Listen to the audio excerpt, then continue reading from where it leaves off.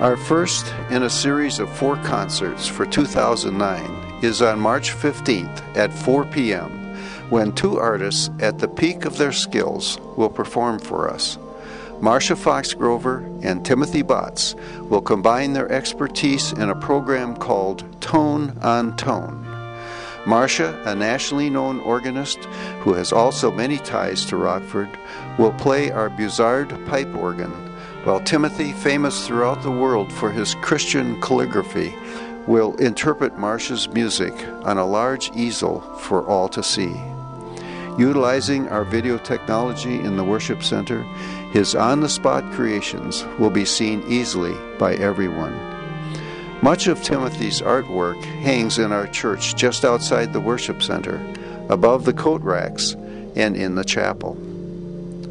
A free will offering will be taken, and through your generosity, the net proceeds will be designated for the Living with HIV program at Crusader Clinic. This is a one of a kind concert that you will not want to miss.